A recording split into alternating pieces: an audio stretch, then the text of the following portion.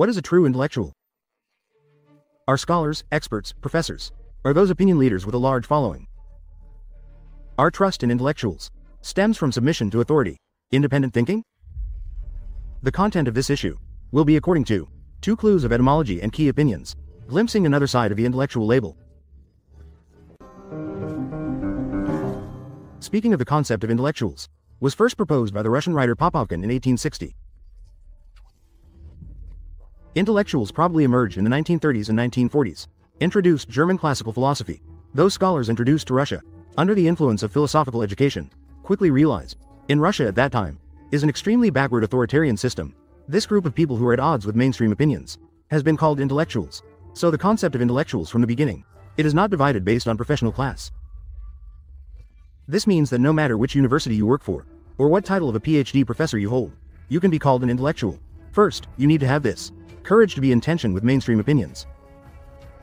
If you do not possess this temperament, then the identity of an intellectual cannot be discussed. Of course, today's intellectuals have another origin, which is a bit later in France. In 1894, Captain Alfred Dreyfus of France was falsely accused of being a traitor to the country because of his Jewish identity. In 1898, the writer Zola, on October 15th, in the midst of the state of confusion, that the army is aging. This is not the case for the squadron commander of the General Staff. Squadron commander of the General Staff, who on October 15th is involved in his column, drafted an open letter to the President of the, Republic. This squadron commander, the Artillery Division Commandant Terry de Caila General Mercou drafted an open letter to the President of the Republic. The title of my complaint dated October 15th is that in the Bigu, commanding the Brigade Inten Leduc CP, the Jenna Bigay, commanding the Brigade Inten. The second in command of the artillery division of the Accordi Ladushin, out of rank RTWA RNAUX Saksu Street that in the Ur of that General Ur Onsa is called Chief of the second of the General Staff Mayor Tiwei Wokong Su was on October representing individuals that read a few books. Division of he requested a retrial of the Dreyfus his colleagues Bigu. He requested a retrial of the Dreyfus case. Senior artillery squadron leader. This group spoke out for social sections of the staff of individuals who criticized social General Mercier announced were labeled by their opposing forces, disdainfully referred to as intellectuals. In other words, the term intellectuals originally had negative connotations in France. It represented an image of individuals who have read a few books, self-righteous, dissidents who sought to confront state authority, O sellers from the district M, A chain, R. Those who sought to challenge the authority of the state were subjected to a government order to impose a 15-day prison sentence on district councilors. Mr. Merman had been detained and the had only been on days on days that work began. People in Landry started working in St. Fargo. The first results were necessary. were starting to show. Very happy to accept Dreyfus such did not really understand until his political friends showed him how necessary really district councilors, Mr. Archain, Porge, very happy to accept such a title. District Councilors, Mr. Following the publication of this manifestation, the District Council, whoever has been Archie, the order of work has come in the District Council results, Mr. Necessary, pop procession, people with surrounded by the councils and public conscience councilors of the district, and before point is the text demani.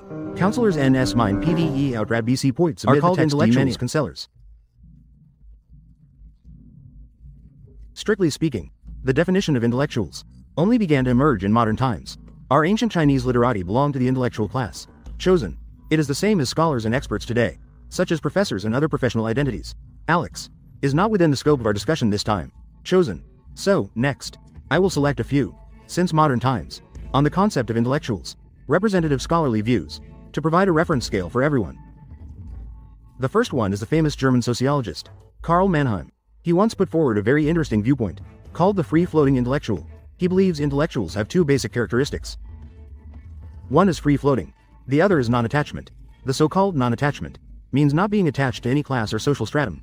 This is the prerequisite for his free-floating, and also the prerequisite for his intellectual freedom, and the prerequisite for a fair attitude.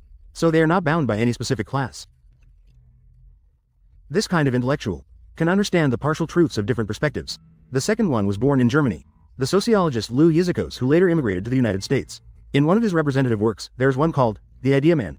Coser believes that intellectuals are people born for ideas. Not people who make a living by ideas. They are the gatekeepers of ideas. They are the enlighteners of ideology. Even though these ideas often face rejection and discrimination from people, but in the past several centuries, they have undertaken in the history of Western thought a role akin to pioneers. Therefore, Coser believes, establishing their own critical attitude, preaching in ignorance, condemning the oppression of the public by authority, is a primary characteristic of an intellectual. Thirdly, is the renowned literary critic from Palestine, Edward Wadie Said. In Wadie Said's theory of intellectuals, we can see, he believes that compared to those professionals, intellectuals are amateurs. This so-called amateurism, it emphasizes the independence of intellectuals. Said believes, intellectuals are neither mediators of conflicts, nor do they attempt to establish consensus. Intellectuals should wholeheartedly engage in criticism. They are unwilling to accept a simple ready-made Standard answer of cliches. They are even less likely to curry favor with authority, nor will they flatter traditional views and practices. In Said's view, intellectuals should play the role of questioners rather than that of advisors.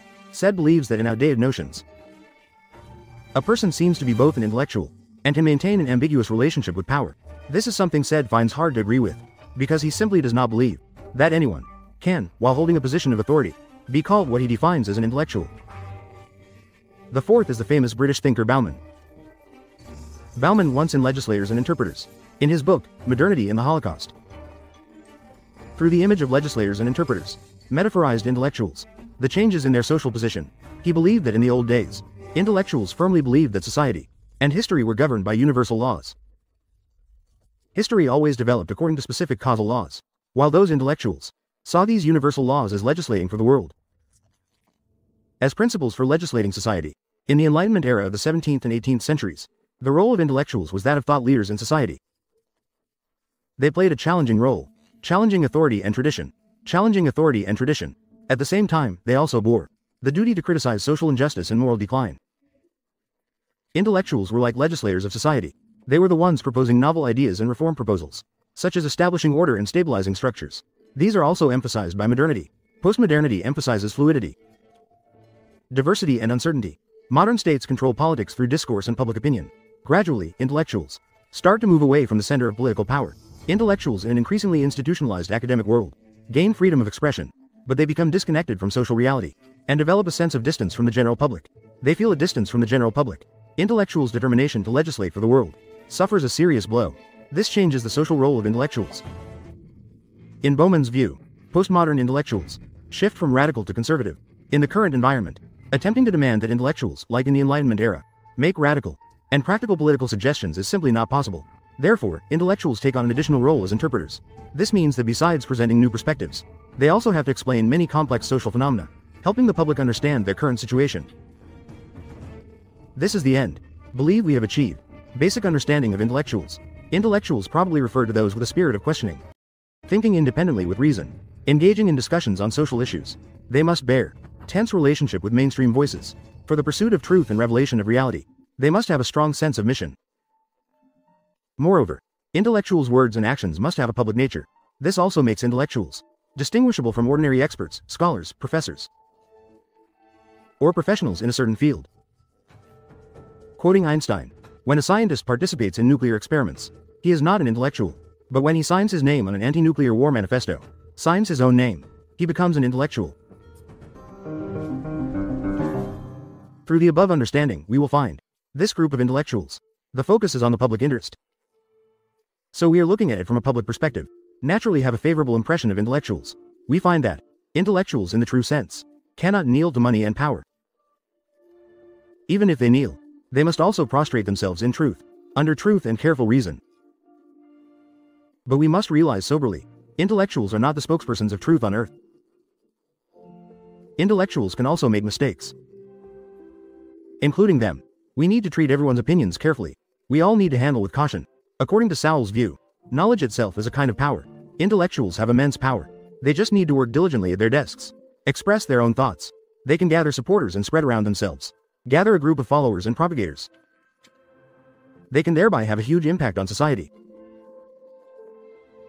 If these ideas being spread are wrong, society will be dragged into great disasters. Often, after these disasters occur, people tend to criticize these politicians more and overlook the strategizing behind the scenes. The intellectuals who wave flags and shout slogans. From this perspective, the power of intellectuals. There exists a huge imbalance of power and responsibility. So how do we discern these erroneous ideas? Or poison the intellectuals in society? Sowell also provides us with two criteria. As a reference, the first is called the sanctification concept. In Sowell's view, no society can escape good and evil. In human history, has never created a perfect utopia, nor will it be possible to create such a perfect society in the future. A good intellectual, never promises the public the best or most authoritative or the most correct thing, but carefully seeks the least bad thing.